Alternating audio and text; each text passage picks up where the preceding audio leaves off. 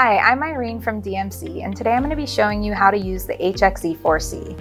This tool is the battery alternative to DMC's manual form crimp tool, the HX4. Just like the HX4, this tool is able to crimp terminals, splices, contacts, shielded connectors, and most RF cables from sizes 26 to 10.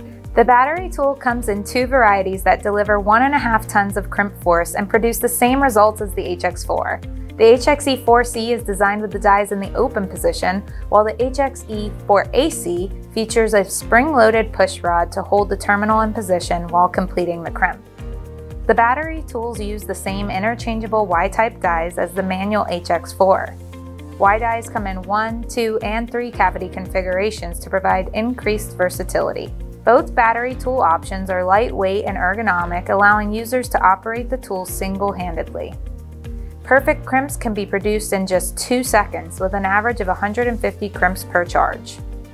These battery tools also feature built-in technology that tracks tool performance, users, and crimp data. The data can be viewed on the LED display or downloaded via an app.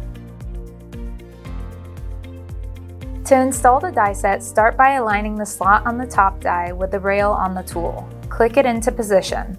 Now insert the bottom die aligned with the rail and click it into position. To use the HXE4C, begin by positioning the component using the locator on the backside of the die.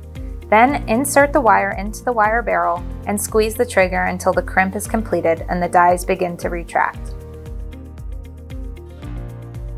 To remove the die set, first squeeze the trigger so that the die set is fully closed. Then place the die removal tool under the bottom half of the die. Then cycle the tool and push up on the die removal tool. Using the same removal tool, apply pressure to the black button on the top of the tool to release the top die. Thanks for watching this video. For more information on any of the tools mentioned, visit our website at www.dmctools.com and don't forget to like and subscribe.